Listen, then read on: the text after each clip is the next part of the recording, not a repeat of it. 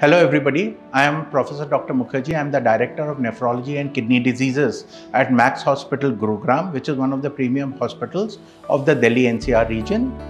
March 10th of every year is celebrated as the World Kidney Day to emphasize the importance of the kidneys in health and disease.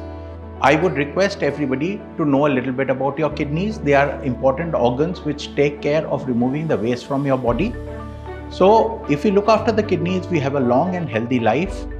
Uh, what, what all can we do to keep our kidneys healthy? Adopt a healthy lifestyle, which includes regular exercise, good quality of food, uh, avoidance of obesity, proper treatment of diseases like diabetes and hypertension, which can lead to kidney disease in its turn, avoid self medication, and as and when you're detected with kidney problems, please do carry on with regular follow up, checkup, and treatment.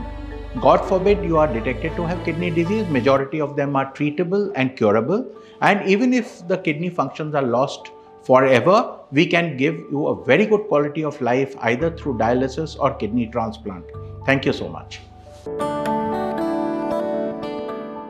Subscribe to our YouTube channel and press the bell icon to get the latest healthcare updates.